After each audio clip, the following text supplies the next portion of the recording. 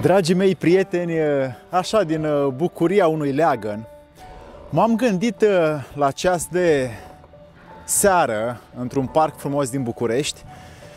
la o parte din viața mea și anume relațiile care ne ocupă și mi-au ocupat și mie și mi ocupă în continuare o foarte frumoasă parte a vieții mele. Și am văzut că aceste relații uneori în viața fiecăruia și norocos e la care nu are, se întâmplă câte o infidelitate. Și mulțumitul lui Denis, lui Dănuț Șerban, ne-a facilitat o idee cum să trecem, și am zis astăzi să pun acest titlu, cum să trecem peste infidelitate fără depresie. Și am zis să pun trei idei cum să acceptăm, fără să devenim anxioși, fricoși și depresivi când o asemenea situație neprielnică și nefastă și complet uneori absurdă se întâmplă. Ei bine, infidelitatea face parte dintr-o viață cotidiană, socială, unde mass media, social media ne permite să facem slide la telefon, să cunoaștem pe cineva nou rapid și nu mai avem răbdare să mai muncim relația noastră, pentru că avem oportunități foarte multe și rapide cu un uh, alt nivel de plăcere foarte rapid ne le apropiem. Și pentru că nu muncim în relație să stăm, să ne străduim, să câștigăm relația așa cum ar trebui și cum a fost ea lăsată, ne pierdem într-o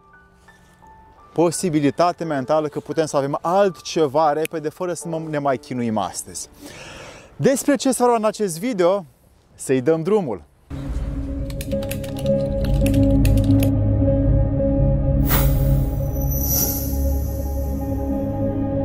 Dragii mei prieteni, pentru că am observat și în viața mea și la cei care lucrez și la cei care mi cunosc că infidelitatea cumva s-a stricurat în ultimele zeci, sute și poate mii de ani printre oameni. Nu o iau ca pe o anomalie, ci o iau ca pe o situație, nu ca pe o problemă pe care fiecare în parte o are de gestionat. Nu o putem îndepărta decât o singură condiție, prin exemplu nostru personal, interior și individual. Așadar, dacă rugăm pe cineva să nu facă ceva, ar fi bine tot timpul să ne privim pe noi, să nu ne rugăm pe noi să facem ceva împotriva aproapelui nostru. Așa cum de altfel ar trebui, conform legilor sacre, să ne iubim aproape ca pe noi înșine, ar trebui să ne uităm mai mult în noi înșine, încât dacă ne-am iubit pe noi înșine, am putea să dezvoltăm capacitatea să iubim pe altul. Și cum să facem asta? Încât în clipa infidelității să nu luăm tigaia, să nu dăm cu pumnul, să nu urlăm și să nu avem trăsături animalice, uneori de așa să înfiorăm pe altcineva și să devenim înfricoșători, doar pentru că nu ne putem abține să trivializăm un om din fața noastră. Prima idee pe care o avem ca să acceptăm fără depresie infidelitățile sau infidelitatea ar fi bine să ne vedem pe noi înșine și întrebarea mea pentru tine este cum poți crede tu în altul când tu nu faci ceea ce spui. Dacă ne uităm fiecare la noi înșine, eu la mine, tu la tine, vei vedea că foarte multe lucruri le dorești, ți le propui, îți dai sugestia să ți le faci și nu reușești o foarte mare parte din ele de-a cursul vieții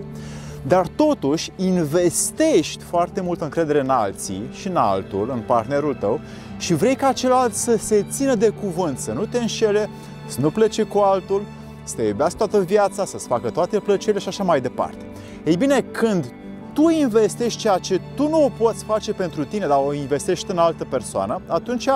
această anomalie a noastră este foarte ușor detectabilă doar în clipa în care noi așteptăm de la celălalt să facă, dar noi nu reușim pentru noi să facem. Și atunci, dacă noi ne vom pune în situația în care ne ajutăm interiorul și facem ceea ce spunem și suntem complet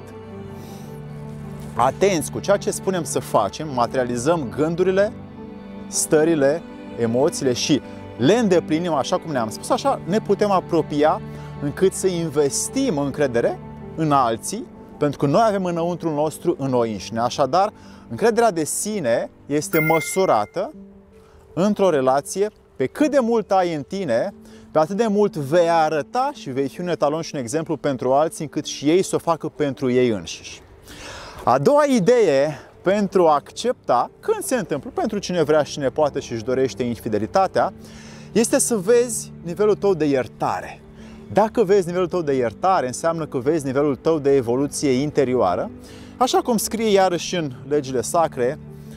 să-ți ierți aproapele, pentru că prin iertare tu crești și te dezvolți și evoluezi pe scara aceasta a virtuților umane. Deci este o șansă pentru tine să profiți de această oportunitate grea din viața ta care se numește suferința de a accepta ceva ce nu-ți place și să te pui pe tine în condiția în care să-ți vezi nivelul, cât de puternic ești cu adevărat. Dacă ești puternic, bravo, vei ierta cu inima împăcată, cu zâmbetul pe buze, fără să ții conturi și fără să ții în minte ceea ce celălalt a făcut în trecut. Și dacă reușești să ierți cu adevărat, vei rămâne în prezent bucurându-te de o nouă sau de a reintra în relație așa cum tu sau voi împreună stabiliți. A treia idee pe care o las pentru voi în a accepta pentru cine poate și arăși cine vrea infidelitățile este dacă tu, pentru că aici este un, o valoare mentală creată de fiecare dintre noi, dacă tu vezi ca ceva rău pentru tine sau ca ceva bun pentru partener, și ce apare mai des în mintea ta? Pentru că dacă tu vezi că mi s-a întâmplat mie ceva rău, mie nu convine, eu nu sunt,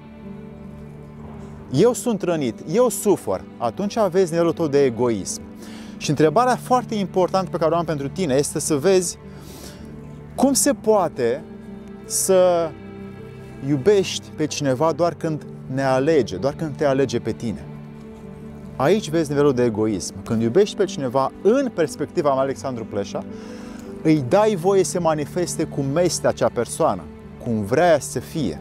cum își dorește și tu doar ești exemplu interior pentru tine, nu îi dai sugestii și o lași să înțeleagă prin propria ta experien- prin propria exper- experiență. Dacă totuși vrei să-ți investești iubirea în cineva, lasă omul să vezi dacă vine spre tine și fă tu tot ceea ce poți pentru binele tău și al, că, al casei, al familiei tale, al căminului tău. Așadar, uite-te dacă în clipa în care tu admiți și spui acest grandios și enorm și minunat cuvânt de iubire cuiva, vezi în ce măsură te superi când nu te alege pe tine. Și dacă te superi, înseamnă că aia e doar așa o chestie de atașament sau de chimie, dar aia nu este iubire. Dacă alegi, în schimb, să te gândești că acel om a obținut ceva bun când te-a înșelat, să vezi că poate i-a făcut plăcere să facă asta, uite la tine și vezi cum ai ajuns tu ca acea persoană să plece de lângă tine ce a văzut ea mai mult, mai bun, mai plăcut în altă parte. Și văzând acest lucru, îți vei da ție șansa să te cunoști mai mult. Dacă doar arunci cu cuvinte și cu stări și cu nervi altuia sau partenerului, atunci tu vei suferi mai mult și vei crea o distanță și o deconectare completă și pe viitor cu această persoană, partener, care ți-a fost alături poate 3, 5, 20 de ani din viața ta. Așadar, dragii mei prieteni, pentru cine poate, dorește și vrea să-și exerseze nivelul de iertare și de dezvoltare interioară și vrea să se pună pentru a înțelege ceea ce este această iubire cu adevărat în care nu iubim doar că ne alege pe noi, ci iubim pe ceea ce cealaltă persoană sau ceea ce altă persoană alege, atunci înseamnă că o acceptăm, o admitem, o ajutăm și implicit o iubim cât de mult putem noi. Pentru cine vrea, poate și vrea să facă lucrurile astea, atunci aceste trei idei merită evident verificate, dar ele sunt valabile doar pentru oamenii care au o doză foarte mare de cunoaștere de sine, de iertare de sine, de a nu judeca și a nu bărfi pe ceilalți și a nu sta la hai să ne pierdem timpul cu viața. Pentru acești oameni sau aceste idei, dacă te afli printre aceștia, bravo ție și spor la treabă. Dragii mei prieteni, vă mulțumesc foarte mult că sunteți pe acest canal. Dacă v-a plăcut și vă este util și puteți trece peste infidelități, evident, pentru cine poate și vrea și își dorește în decizie proprie și manieră proprie, atunci un like, un subscribe și un share ca să facem și altora viața mai ușoară, să nu sufere aiurea. Să vă fie de bine!